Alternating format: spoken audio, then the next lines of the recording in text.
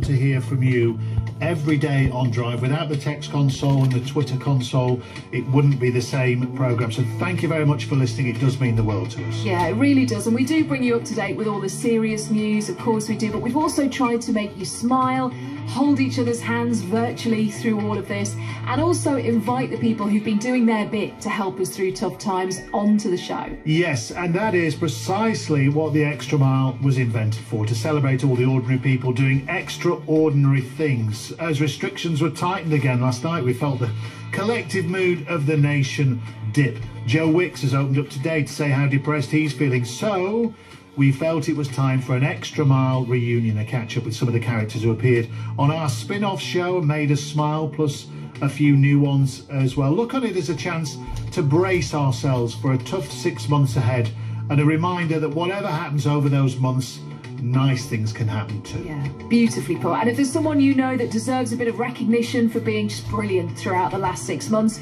get in touch or try and say thank you for you. You can text us 85058 or you can get in touch on social media and use the hashtag BBC Extra Mile. You're listening to The Extra Mile from Five Live Drive. Five Live Drive. Five Live Drive. And we're going to start with a man who played a huge part in the creation of the Extra Mile. Did you know the happiest bus driver in the UK, dad dancer and skipper Keith in Cardiff? Keith, welcome back. Keith in Leslie. How are you, Keith? Good evening, Anna. Good evening, Tony. Hello. I'm absolutely fine. Did you know, Keith, that you Yeah. helped launch all of this in a way? Because the idea from the show came from our editor, Anna, seeing you dancing on Twitter, and it made her smile. And she thought that that could transfer to all our listeners and make them smile as well by putting you on the radio. Oh, wow. I love that. I love the thought that I've done that. Um, I did say uh, six months ago that my social media is all about positivity every single day. And um, there's no depression here. I can tell you that now. So, how are you keeping positive, Keith? Get share share the, the joy, Okay. share the love. How do we all do it? Uh, how do we all do it?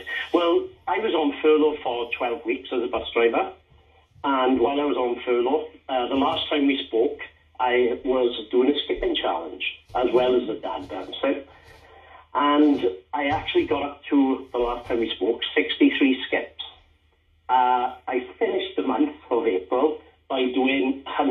133 skips Wow. and I, in in the process, I raised 130 pound for the NSPCC. So obviously, I couldn't leave it there. Um, we started May. I was still on furlough, and I decided to